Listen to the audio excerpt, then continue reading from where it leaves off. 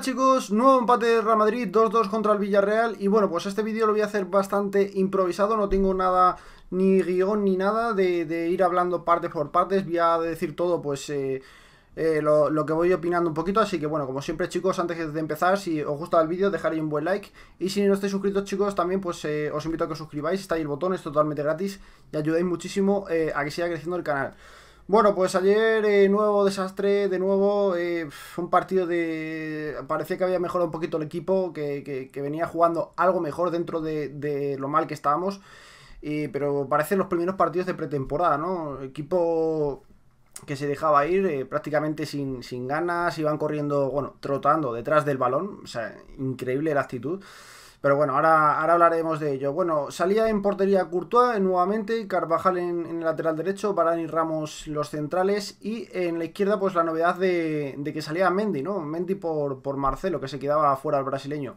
La verdad es que el partido de Mendy a mí me gustó mucho. Hizo una cagada en, un momento del partido, pero luego, pues tanto incorporándose al ataque con mucha velocidad, con mucha potencia física y en defensa, pues estuvo bastante bien. Hubo varias acciones, la verdad es que de uno contra uno contra el extremo, eh, sobre todo a, Chamu, a Samu Chuguece le, le, secó ¿no? en el partido. Ya sabemos que es muy rápido, el africano, muy, muy habilidoso y la verdad es que mm, le, dejó prácticamente seco en, todo el partido, así que me gustó bastante eh, su actuación, quizás de lo, de lo más rescatable, ¿no? Ayer. Bueno, luego cambió un poquito el, sistema, ¿no? Jugó este, este partido con 4-4-2, así que por la derecha salía Lucas Vázquez. Nada que añadir eh, en, su línea, ¿no? Partido desastroso, malísimo. O sea, increíble. No, no, entiendo cómo Lucas Vázquez no, no es que sea titular, sino qué hace en el Real Madrid. Si es que hay miles de jugadores mejores de, equipos de segunda división. Es que es increíble, no, no, entiendo. Todo por el amiguismo de, Sergio Ramos, que ya pues cansa un poquito en el, en el, madridismo, ¿no? De que siga jugando y de que siga estando este jugador en, el Real Madrid. Luego por la izquierda salía Bale por, por su lado, bueno, ¿no? De, zurda para colgar esos balones. Y bueno, pues un poquito... se podía entender un poquito que saliera Lucas Vázquez y, Gareth Bale por el tema de, salir con dos delanteros centros, ¿no? Para colgar balones con la pierna buena. Pero bueno, eh, luego en el medio campo estaban Casemiro y Cross en, ese doble pivote. Que como vimos ya en pretemporada, es, es, que en Madrid no puede jugar así porque no está preparado para jugar eh, con un 4-4-2, con, con, un doble pivote. Tanto Casemiro como Cross estaban desbordados. Eh, no, no, no se puede con ello. Y bueno, pues como decía, dos delanteros centros, eh, Benzema y Jovic. Yo creo que le gustó bastante la actuación de lo poquito que pudimos ver a, Jovic en el último partido y decidió pues eh, salir con ese 4-4-2 a colgar balones, centros, Bale por su zurda, ¿no? Y Lucas Vázquez por, su diestra. Es, un poco de equipo chico, ¿no? Salir a jugar a centros. No, tiene otro estilo de, juego Madrid, no, no juega nada, no a centros, nada más, un Real Madrid. Increíble. Bueno, pues eh, primera parte, la verdad es que, como digo, eh, irreconocible el equipo, o sea, algo de mejoría que habíamos tenido. Estaban trotando detrás del balón todo el rato y no, había una presión, no, había un jugador que fuera eh, con más ganas. Iban un equipo sin alma, ¿no?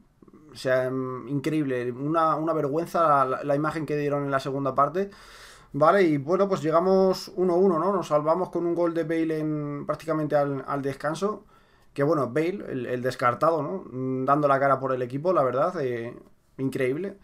Y en la segunda parte, pues íbamos 1-1 y empezaron los cambios, ¿no? Mejoró algo el equipo, en la circulación y demás. Se veía, pues, un mínimo de cambio de actitud, un poquito mejor, pero poco.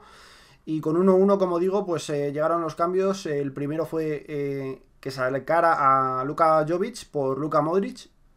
O sea, me quita un delantero con 1-1, un, equipo que está eh, obligado a ganar siempre y con 1-1, en vez de ir a por el partido, me quitas al, delantero centro y sacas a Modric. Bueno, pues nada, reforzar el, el medio campo, ¿no? Para, para tener quizás más la posesión, para tener más protagonismo en el partido.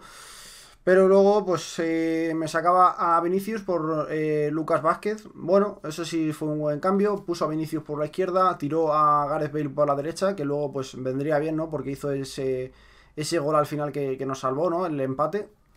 Y luego, pues también pues quitó a, a Kroos, que estaba súper fundido, y metió a Valverde. Cuando sacó a Modric, pues sacó otra vez el, el 4-3-3, ¿no? Sacó en, en el medio campo Casemiro y el y los dos interiores, ¿no? Cross y, Modric, y tiró pues eh, a Bale y, Lucas Vázquez y Benzema arriba. Eh, nada, es que es imposible, o sea, no se puede sacar muchas cosas positivas, por eso prácticamente el, vídeo lo, estoy grabando así sin corte, sin, sin, ir parte por parte como me lo preparo a veces, porque es que no, no hay mucho de lo que hablar, ¿no? Es lo de siempre. El, el equipo está súper perdido, lo habéis visto en la mini del, del vídeo, ¿no? Que Zidane out, o sea, es que no, no tiene sentido de que, de que siga Zidane, ¿no? No tiene una idea de juego, no, no hay cambio. Eh, parece que, que, todo esto puede que esté empezando, como dice la gente, pero es que no está empezando. Es que Zidane cogió el equipo en las últimas 10 jornadas y no cambió nada, no ha cambiado nada en la pretemporada y llevamos eh, tres partidos y tampoco ha cambiado nada. Entonces, eh, no, entiendo que si lo dije, ¿no? Mucha gente me criticó en Twitter por decir, es que Florentino ha sido el mejor eh, presidente de la historia, pero es que si Florentino no toma decisiones, si no ficha, si no hace limpieza en el equipo, tendrá que irse, ¿no? Tendrá que dimitir, o sea, es que me da igual que haya sido el mejor presidente de, la historia, que Zidane haya sido el mejor eh, entrenador de, la historia, o como dicen por ahí, ¿vale? Pero si hoy en día, en, el presente, no estás bien, Florentino fuera, porque no toma la decisión de echar Zidane, de, traer fichajes, de echar a los que no valen. No está tomando decisiones de arriba, ¿no? Entonces, y abajo, en el banquillo, si Zidane pues no, no está capacitado, no, no, está haciéndolo bien, pues tendrá que irse también, ¿no? O sea, ni toma decisiones los de arriba, ni toma decisiones los de abajo. En el campo los que juegan no hacen nada. Eh, entonces, eh, alguien tendrá que, que cortar cabezas, ¿no? A alguien. O sea, es que es increíble que, esto siga así. Así que nada, vamos por un camino bastante difícil. Si la temporada pasada fue desastrosa, esta temporada pues tiene toda la pinta de, ser igual o seguramente peor. Mm, viendo cómo está el equipo ahora mismo, te gana cualquiera de media tabla de, y descenso. O sea, es que eh, a día de hoy estoy pensando que el Madrid va a luchar por, entrar en, en, Champions, o sea, por el cuarto puesto. Y veremos, veremos cómo sigue así la cosa. No me extrañaría nada que se quedara fuera de Champions. Puede sonar un poco exagerado, pero es que viendo lo que estamos viendo, no, está capacitado el equipo para, para, lograrlo, la verdad, no, no tiene mucho sentido. Esto, pues por más que me, me fastidie decirlo, eh, solo le veo la solución a, a, que vuelva Mourinho, que es el que va a venir en cuanto se vaya a Zidane si no es ahora o será después, va a venir Mourinho porque es que está prácticamente pactado con, el presidente y, yo creo que ya es hora, ¿no? Si, si no, vamos a perder la temporada desde el principio. O sea, mejor ahora, a los tres primeros partidos, que empiece a hacer la limpia, que si tienes que dejar a Sergio Ramos fuera porque está fatal, lo tienes que dejar fuera. Si está fuera eh, mal Barán, pues lo, dejas fuera. Si tienes que sentar a, a Cross y a Modric, pues, pues también fuera, ¿no? Es que da igual los nombres. El que no valga, fuera. Se llame como se llame, ¿no?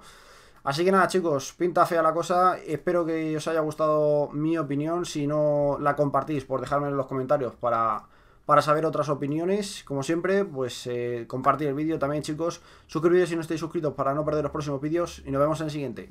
Adiós.